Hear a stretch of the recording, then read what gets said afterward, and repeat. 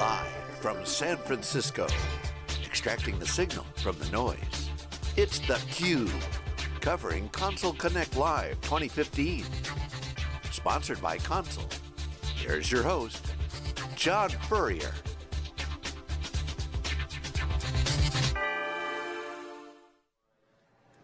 Okay, welcome back everyone. We are live in San Francisco for Console Connect 2015. This is theCUBE special presentation. This is our flagship program. We go out to the events and extract the signal from noise. I'm John Furrier, the founder of Silicon Show. My co-host Jeff Frick, General Manager of our CUBE business. Uh, our next guest is Paul Gampe, Chief Technology Officer of IIX and Console Inc., all one new evolution, revolution. Welcome to the Cube. Thank you, John, Jeff. It's been uh, it's been a long time coming. I'm looking forward to being so, here. So Excellent. tell us, how did you get to uh, IIX? What made you uh, join? That's a great question. Uh, it's got a long story, so I hope we got plenty of time. Uh, actually, I met Bill Norton 15 years ago uh, when the United Nations Development Program paid Bill, myself, and a, a fellow friend of ours, Philip Smith, to uh, be part of the uh, team that were teaching Mongolia how to get onto the internet. So I've been involved in the internet community for a very long time, and uh, when I caught up with Bill uh, early last year, he was sharing with me the vision for IIX.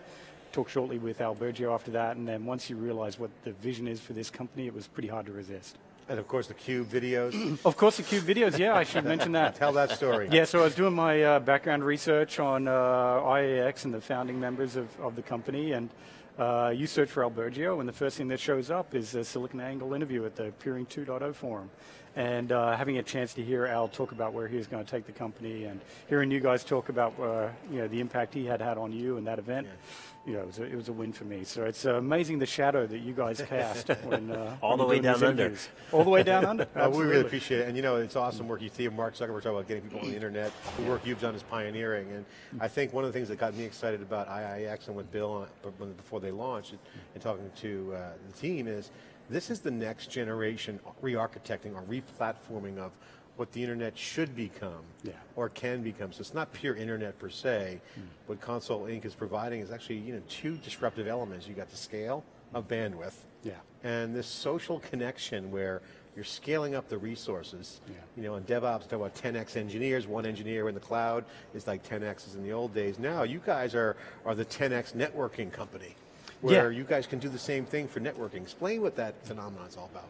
Yeah, so I think that one thing that really surprised me when I joined IIX and had an opportunity to hear more from Al and Bill and others about what their vision was, was they kept talking about this ecosystem. They referred to the early, you know, Bill's been in the community for a long period of time. He spent a lot of time building an ecosystem. They kept talking about, oh, it's all about social. You know, it's an aspect of social in helping you know, networks get connected. It's network engineers getting to know and trust each other. So when we're building the, when I was being asked to you know, be part of the team that build the console platform, he kept saying, okay, it's got to be focused on social. You know, interaction's got to be a core part of it. And at first blush, I didn't understand that. But as you will have seen for those who are here today and had an opportunity to see some of the customer interviews that we've done. We launched an early access program earlier in the year and uh, several of the customers that have helped us develop the console platform kept reiterating back to me, I need to know who I'm connecting to. If this network connection should become an issue, I need to know who I can go to to be able to resolve those issues. It really is about fostering that ecosystem, about getting the connections. And as you refer to the, you know, the 10 by DevOps engineer, we've got the 10 by network engineer. He's got that network, he's got that ability to liaise and trusted network, and we're helping accelerate that. So first and foremost, you know, it's been a, it's quite a eye-opening thing for me to realize that social was important. Uh, and obviously that's been a core part of the platform console design. I think if I think about the other two things that have really helped us uh, get to the point where we are today, you talked about the history of the internet. What's really afforded console to abstract so much complexity from the enterprise? Really, it's a few things that have happened over the last couple of years. First and foremost, it's software-defined networking. The fact that we can now automate you know, a global fabric of 150 SDI nodes with something you couldn't do, or if you wanted to try and do it, it would have to be done at, you know, the cost of trying to achieve that personally would be too high. But now that we've got SDN technology, Probably you've had an opportunity to meet with uh, David Jorm today, uh, an, an, engineer at IIX, you know, heavily involved in Open Daylight and the ONOS project. You know, obviously SDN is a core part of our ability to automate a layer two fabric. Yeah, network virtualization, network yeah. function virtualization, exactly. these are all disruptive trends. You know, agile is the term in DevOps, but resiliency is the network concept. Exactly. And we had uh, Samuel Curtis from Rack 59 was on the cube earlier. He said, you know, I'm he's a, I'm a network engineer and I know how hard it is um, that goes on behind the, the, that that push button yeah. uh, provisioning you guys provide. Explain the complexity that you guys take away because to do what you do is not trivial. No, I certainly hope we've made it look that way. Uh, well, that's the ideal, right? I mean, exactly. trivial, make it easy to use is, is a great thing. And I think what we've seen is, you know, the enterprises have started to move their critical infrastructure outside the enterprise firewall and into the cloud. The enterprise no longer can not participate in direct connection. The enterprise has to be an active participant in direct connection, but it's complex. You refer to the, you know, the DevOps challenge. There's just not that many good DevOps engineers. Well, it's even more compounded in the network environment where the core skills are not the sort of things that are taught at university. You don't come out with a university degree understanding BGP or to go through the complexity of, okay, which regional internet registry do I need to go to to, to get an ASN number? What is an ASN number? Why do I need one? So the, if you look at the fact that DevOps has driven this mass migration of enterprise applications outside the cloud, it's now put this immense pressure on the public internet connecting the enterprise to those cloud applications. The only way for the enterprise to solve that is to be a participant in direct connection. It's interesting. The cloud brings a whole nother level of uh, yeah. paradigm shifting, mind blowing yeah. paradigm shift. Where you think about the old days of internetworking, mm. you know, hub, switch, yeah. you know, wide area, local area networks. That was a huge wealth creator, great disruptive opportunity. A lot of companies made a lot of money and also value brought the cost down to deploy distributed computing. Absolutely. So now you have cloud and this idea of interclouding or traversing multiple cloud resources pools, if you will, whether it's Azure, Amazon, yeah. VMware, what Google, what, what, whatever. Yeah. That's a huge opportunity. But now the nuance is the app, wherever the app sits, the workload yeah. is going to drive the policy. So it's actually flipped upside down. It's not the network to the app, it's the app down to the network. Exactly. How does that affect what you guys do and, and why are you guys relevant in that conversation? That's a great question. Uh, I think it's relevant because we've taken, ironically, exactly the same things that have driven cloud adoption, virtualization, container technology, orchestration, and we've applied that to the network tier. So I described earlier how SDN's allowing us to create a global layer two fabric, but the real, the real key I think that we that we hit upon in solving the problem for the enterprise is using that virtualization and container technology and applying it to routing. So you may or may not know we're uh, you know we're core sponsors of the Cloud Router project. So it's the ability for us to take on that routing that. component. Yeah, yeah, very proud of the work we've done uh, with the Cloud Router project. Uh, a lot of core open source companies have backed us at launch. Cloudius, CloudBees, Nginx, a long list, uh, OSV, a long list of companies that have helped to support us. Recently, the Australian National University has started contributing to the Cloud Router project. When we looked across the landscape of uh, open source distributions, many of them are focused on meeting the needs up the stack. You know, they're active participants in ensuring database applications run well on the operating system, or they're focused on making sure you know, web servers run well on the operating system we saw a gap in the community where they weren't focusing on down below the operating system.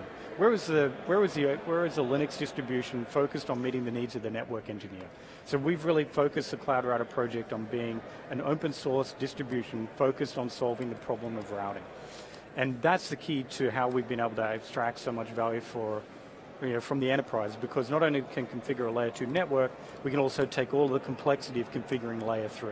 So I want to yeah. drill down a little bit into that because you were at Red Hat for a long time, so That's you right. clearly know the power of open source, Absolutely. and you know the power of community to really drive innovation and to yeah. leverage that inside your enterprise. So talk about how you're taking that experience um, and leveraging that type of, of really horsepower, open source and community now with IIX and console. Great. Well, I guess the one thing that uh, I've learned from the you know my 20-year career in open source software is uh, I wouldn't call it leverage.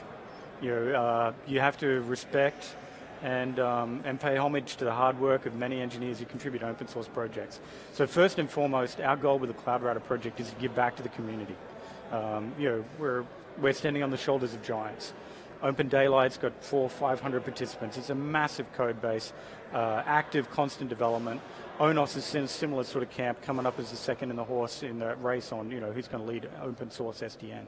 So first and foremost, we wanted to give back to the community and give the network engineers that want to start to embrace open source a vehicle for them to say, okay, you know, this package, this software application is relevant to me, but the traditional Linux distributions are not, not focused on making that part of the core operating system. So that's an area where we think we add value back to the community.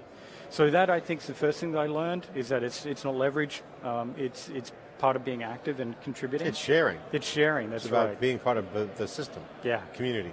And so, you know, uh, more specifically, what we've learned from our time at uh, Red Hat was that, um, you know, with Red Hat prior to the the divergence into Fedora and Red Hat Enterprise Linux, and that divergence really acknowledged the fact that there are two communities.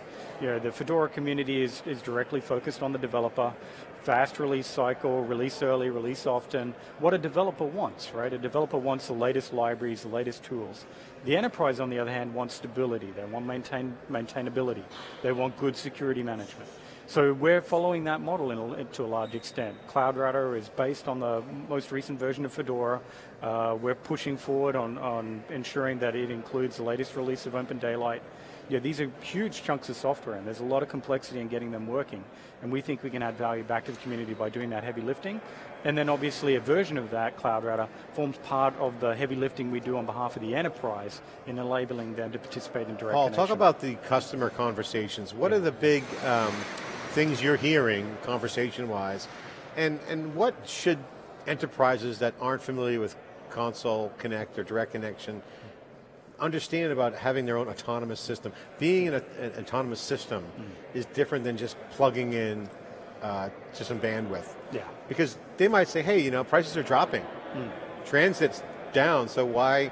What's there? They might not be informed. So share your opinion yeah. on that. Great, thank you. Uh, so I think you know uh, there's always that option. I can just go by transit. But as we've seen over the you know 2015 is going to blow the socks off for 2014. 2016 is going to be even worse. I think a, a recent Gartner survey showed that 65% of IT professionals who were interviewed said that uh, a denial of service attack can cost them $240,000 a day. And for one fifth of those surveys, it was $1.2 million a day. So you have to acknowledge as an enterprise that if I'm going to use public internet or transit to get connected to my ERP or my CRM or my public facing infrastructure, that I'm vulnerable to denial of service. Uh, that's only one of the issues with public internet. The other one, of course, is you know, black holing and hijacking, both of which refer to the fact that there is a, the internet's a network of networks, and I described earlier how valuable these network engineers are. And those trust relationships of good people doing the best they can, but it's only several weeks ago that we had a large telco in Asia black hole big chunks of Europe because they made an error in their configuration. So suddenly all those packets that were destined for one destination suddenly get routed to another location and all those packets get black holed. So you need to, I guess, acknowledge the fact that um, sure you can use transit if you like, but be aware of the risk. Yeah, it's like involved. going out during uh, wartime yeah. and not having any protection. Yeah. I mean, you're always exposed. Yeah, yeah. So I think what uh, direct connection is, and you know, asking, answering a question about ASNs. So to directly connect networks, that means that not only have you got a, a layer two connection between two locations, and you can get a packet from one location to another, you're involved and engaged in routing. So I can advertise these are my routes. This is my address. A good analogy is a zip code, right? So if I want to be able to send something via the US Postal Service, I got to give it a zip code. So think of an autonomous system number as a lot like a zip code. So, okay, here's this packet, now I know where it needs to go. And so you have to have an autonomous system number to participate in Border Gateway Protocol. So if the enterprise wants to be truly directly connected to Google or Amazon or Azure, they have to be involved in, in BGP. They have to have an ASN, and consoles help solve all of that for them. The analogy we heard earlier in the cube was uh, first class and coach, and I'm like, well, why not just a fleet of new jets? Right. So, so what is the analogy you guys like to use? Because this is a new class of service. It provides kind of the architectural foundation for end-to-end architecture, which you look at SDN and virtualization and some of the things going on with containers and application development, people want an end-to-end network, especially with the growth of Internet of Things. Yeah. The edge of the network now is just as important as the core. Yeah. So that's an end-to-end architecture. You're seeing the big guys all lining up Yeah. You know, EMC's under under siege from uh, hedge fund um, Gordon Gordon Gekkos of the world. You know, because they're just a storage company. Yeah. Uh, this HP's a server company. Dell's transforming. They're all kind of integrating in. Yeah, I agree. So the analogy we like to use, and now Burgio coined the phrase, you know, direct connect 2.0. So if we look at the traditional 1.0, it's the the large SaaS application providers or the EMCs of the world who've been able to acquire the skills required to be part of that direct connect community. But now that all of the enterprise are moving, they're, you know, they're no longer running core infrastructure. The CIO today's far more focused on choosing the correct SaaS provider and the correct SLA than they were five years ago on building and maintaining private infrastructure. All of that mission critical infrastructure is now moving outside the enterprise firewall. To your point, you know, it's now about the edge is, where is the edge, right? So I think well, it's perim- perimeterless. Yeah, and there's edges everywhere, yeah. right? Exactly. Security's upside down. Yeah. And now you got edges that need to have low latency, real time, no jitter. I mean, this is like I the mean, new normal. It, it begs yeah. the question: Why? Why wouldn't they? I mean, what, what's holding back? Is it simply the skill set? Is it simply the ease? Is it prioritization? I mean, I don't hear a lot of reasons why not to direct connect on most of your core traffic and applications. Yeah, and I think that's where uh, Console and IIX comes in to add value because there's a lot of complexity to this. First, you'd have to know that you need a BGP. Then you've got to know that you need an ASN. So you've got to find and retain a scarce resource of a network engineer who's got the experience to do it. Then you've got to submit your articles of incorporation to one of the regional internet registries, acquire an ASN. Then you've got to configure your BGP peering session. Then you've got to work out, okay, who do I want to connect to and where are they? So then you've got to find the organization that you want to connect to. And that's a, that's a challenge, right? You don't, if I go to this data center, does that mean I'm going to be able to establish a direct connection to all the trading partners I want? Or am I going to have to establish multiple connections to multiple islands to get the richness of connectivity I need? We have one example of a customer here today who is using 50 SaaS applications. Now, what's the chance that I can get a, you know, a piece of dark fiber, a network engineer, sufficient experience in an ASN, and send my you know, connection to one data center and get all 50 SaaS applications? That's not the case. Well, even if you could pull it off, that's yeah. like putting everything on a string, right? One time. How long is it going to take? Time and cost. What's the time scale on that? Yeah. Months, years, Months. weeks? I mean, it's a long time. Yeah, yeah. yeah. Testing, QA, development. Yeah. So one, time to market, time to value. Yeah. And two, capability. Yeah, exactly. All right, so I got to ask you the hard question. So yeah, I get the cost piece, right? Yeah. No brainer. The hidden cost with DDoS and all managing all that. Totally get it. No brainer on costs. What future enablement does that give the company in terms of headroom? What value can be created? What creative license could they take? What could they do with that extra time, mm. that resource? How do you guys see that? What's your vision? Great. So we've taken a design-driven development approach with the console platform. We've worked uh, very closely with some core early access uh, partners to help us develop that platform. So what we learned from our customers was to focus our design around four core areas. Trust, control, performance, and automation. So that's where I think we're going to continue to add value to the enterprise. We've learned about how network engineers need to establish trust. If I'm going to directly connect my network to your network, I need to know how to get in contact with you. I need to know that your contact information is up to date, and we all know the quality of data increases with use. So that's why we've integrated aspects of social community to achieve that. Okay, we're out of time, Paul. Appreciate your time. Give you the final word. Um, what is this show about for the folks watching live right now and on, on demand who aren't here? What did yeah. they miss? What's the vibe? What's this core show about, Console Connect, all about today?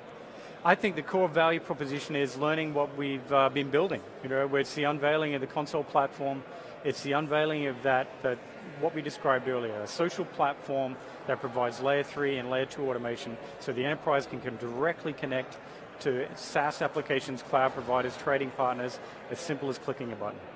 Paul, thanks so much. CTO of IIX and Console Inc. here sharing his insight. Thanks for that great insight on theCUBE. We'll be back more live from San Francisco for Console Connect Live 2015. This is theCUBE, we'll be right back.